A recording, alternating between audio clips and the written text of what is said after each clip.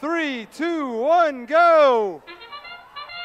All right, teams, we're getting down to these last final matches of the day. We will pick up again tomorrow morning. It'll be great. 56 Roby trying to make their way up onto the charging station. Just sliding off. Looks like Pascack Pioneers are going to park themselves on an uneven charging station. All right, with that ding, we've made our way into the tele-operated mode. Robots seem to have awoken.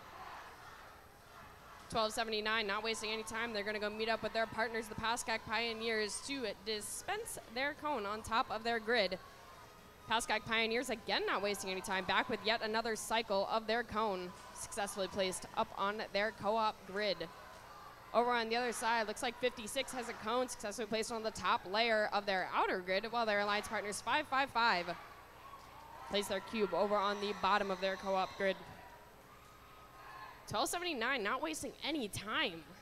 Quickly making their way across the field. Looks like they even jumped over their charging station to make it to that substation to meet up with their human player. They got a cone in their possession. They're not, they are, don't care about anyone in their way. Once again, over that charging station. Placing that cone over into the bottom of their co-op grid. Give it a, little extra push as their alliance partners, Pascack Pioneers, place the cone over on the top of their co-op grid.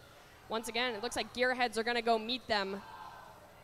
102 trying to make their way across the field, making their way around Roby and 555 as they make their way to their Blue Alliance substation.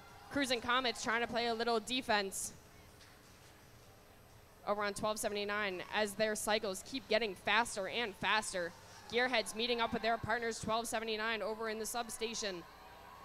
1676 once again back over on this Red Alliance. Successfully placing yet another one of their cones on this outer grid. 102 Gearheads placing yet another one of their cones.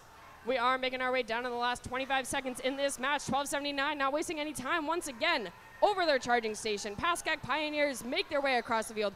Roby and 555 looking to balance themselves up on the charge station. They are successful. Pascack Pioneers and Cold Fusion also balance for the Red Alliance.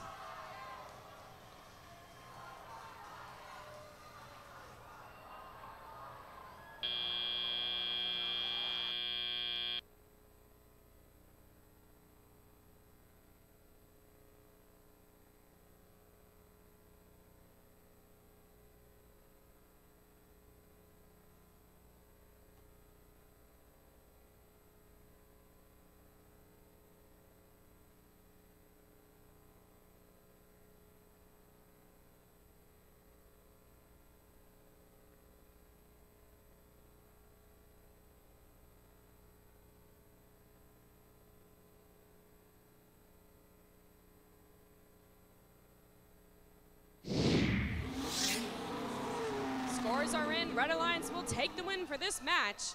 A score of 135 to 33, bumping Cold Fusion up to 8th and 102 up to 26, keeping Pascack Pioneers in third.